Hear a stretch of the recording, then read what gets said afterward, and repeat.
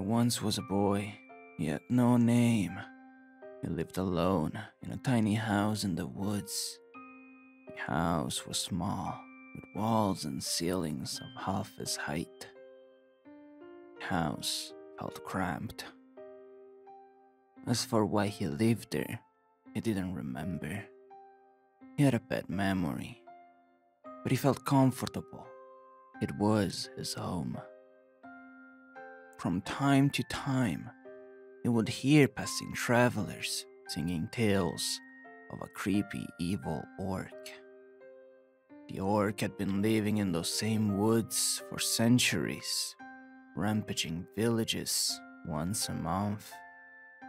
For that reason, the boy would never dare leave his tiny, safe home. But then one day, having finished his food reserves, the boy left his tiny house and began traveling in search of something that could appease his ever growing hunger. After days of walking, the boy found a village. He could see other tiny houses just like his. The boy felt happy. He could see other tiny windows just like his. The boy felt happy. He could see other tiny fences just like his. The boy felt happy. He could see tiny people.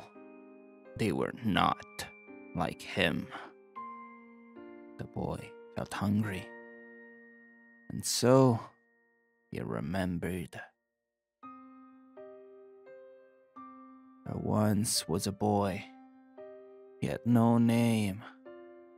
He lived alone in a tiny house in the woods. As for why he lived there, he will soon forget again.